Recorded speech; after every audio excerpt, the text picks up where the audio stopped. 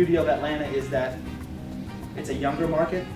Hispanics are larger households, as you know. We live with our grandparents. We live with our parents until we're married.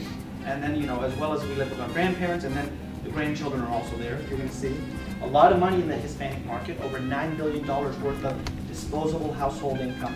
If you look uh, throughout the world culturally, people of African descent are at the bottom of the totem pole. So I think it's an excellent way for us to reach out and find some connection with the Latino market as well as some other diasporas throughout the uh, throughout the world. Of all the Atlanta population who are adults 18 to 34, 17% of them are Hispanic.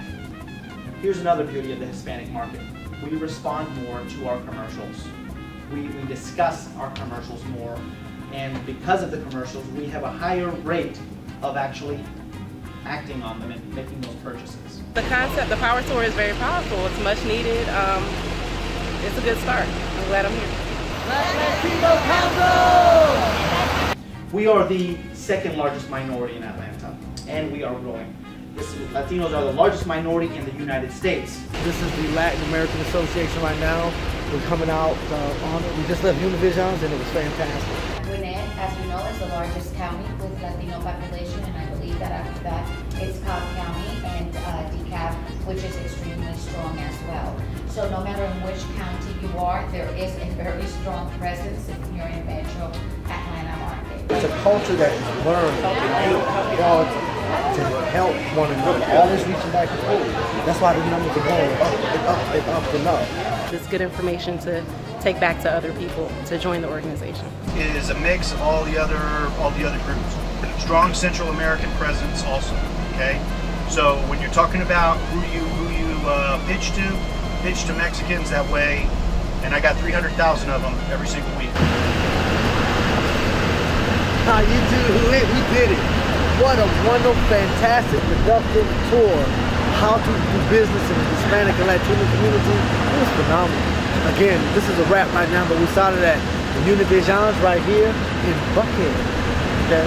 Right here in the heart of Buckhead. Um, roundtable discussion with the executive of the Univisions. Really tour. Um, then down to Latin American Association. But guess what? Don't talk to me. Talk to the actual participants, okay? So we can show you how we get it in. Did being on the tour today help you see uh, and identify some new opportunities for your business or for you to grow professionally? Um, absolutely. You know, it was a good experience to see something different. I got, got to meet, meet some good people. I wasn't really sure what to expect, but what I did see, I'm very appreciative of. I've never had the opportunity to meet the um, Univision or just to get an understanding of the Hispanic community outside of my daily dealings with your everyday um, uh, working relationship, but on a level as business, like um, the opportunity to take your business to the next level, talking with people who have um, position and power, and that can really get you into the community and introduce a product, whether it is uh, a personal service or something you drink or eat or whatever, but understanding the culture of the Latino and um, I don't know. I just got a different perspective today.